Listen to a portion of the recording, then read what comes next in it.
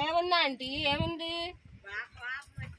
కోపమా మామూలుగా రావట్లా. ఏం చేస్తాము? కోపం కాకపోతే ఏదో ఉపాధి కలిగించి జనాలకి ఏదో ఫ్యాక్టరీలు వస్తాయి అటు ఇటుగా. మనకి పిల్లల కన్నా రేపొద్దున ముందు భవిష్యత్తు కన్నా బాగుంటుందనే కదా పాపం వాళ్ళు ఇచ్చింది స్థలాలు. అనేది కలగానే మిగిలిపోయింది మాకు. అలాగే ఇచ్చిన వాళ్ళం మనమైతే ఎంత ఆశపడ్డామో ఇల్లు కట్టుకోవడానికి ఎంత ఆశపడ్డామో అస్సలు. ఆశ ఆశగానే మిగిలిపోతుంది మా- మా ఉంది అంటే ఉంది. కొన్ని కొంతవరకు చంద్రబాబు నాయుడు ఆధీనంలో మాత్రం మాకు కొంత చాలా వరకు వెయ్యి రెట్లు బెటరు. ఇప్పుడు ఇల్లులు కట్టుకోలేని పరిస్థితి. ఉండలేము? చంద్రబాబు నాయుడు ఆయామంలో ఏ లాభం పొందామంటే లాభం పొందకుండానే ఉంటామా? ఉన్నామా? బాగుంటుందంటే టీడీపీ వస్తేనే బాగుంటుందని మా ఆలోచన. అది.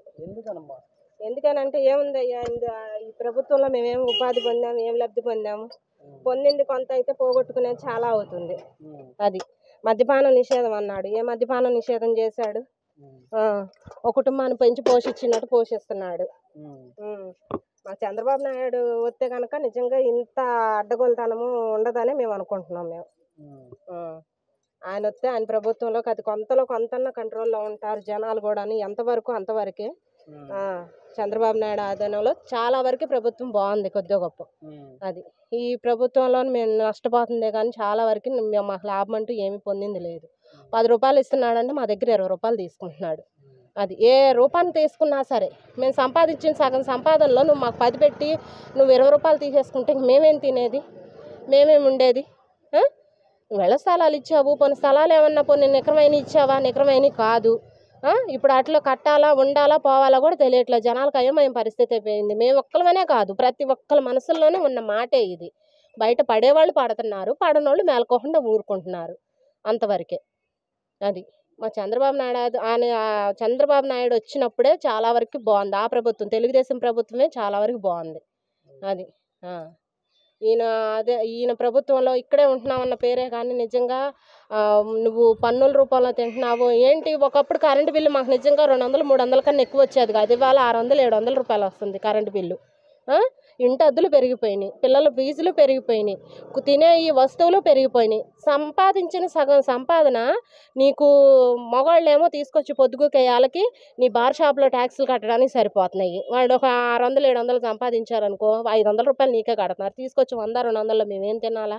ఏం ఉండాలా ఎంతమంది పిల్లల్ని పోషించుకోలేక వాళ్ళకే పని చేతగాక వాళ్ళని వదిలిపెట్టి వెళ్తే చూసే దిక్కు దివాణా లేక ఎంతమంది ఆత్మహత్య చేసుకొని చచ్చిపోతున్నారు. ఇంకా అందులో కలిసిపోవాలి మీకు మాలాంటి వాళ్ళని రాను రాను. ఈ ప్రభుత్వంలో ఉంటే ఇంకా అదే పరిస్థితి అయిపోద్ది మాకు. మళ్ళీ నెక్స్ట్ వైసీపీ వస్తే ఏం చేస్తారమ్మా మరి? వైసీపీ వస్తే ఏం చేస్తారంటే వైసీపీయా? అమ్మ వైసీపీ వద్దనే మేము అనుకుంటున్నాం.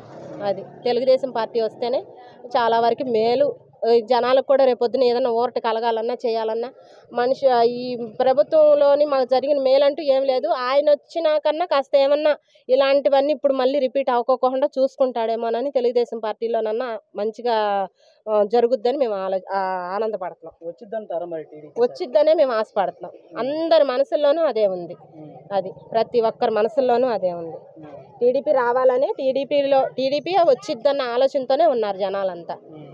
ఒక్కసారి ఒక్కసారి అన్నానంటే ఏదో ఉద్ధరిస్తావని చేస్తావని అనుకున్నాం. జనాలను ఎంత ఏడిపించేస్తాం అనుకోవాలి? ముందు మద్యపాన నిషేధము అని అన్నామని ఆడవాళ్ళందరూ కలిసి నీకు ఓట్లు వేశారు ఆ మద్యపానాన్ని నిషేధం చేసింది ఎక్కడా నువ్వు? చేయలేదుగా? ఇంకా పెంచి పోషించుకుంటూ వస్తున్నావు. మళ్ళీ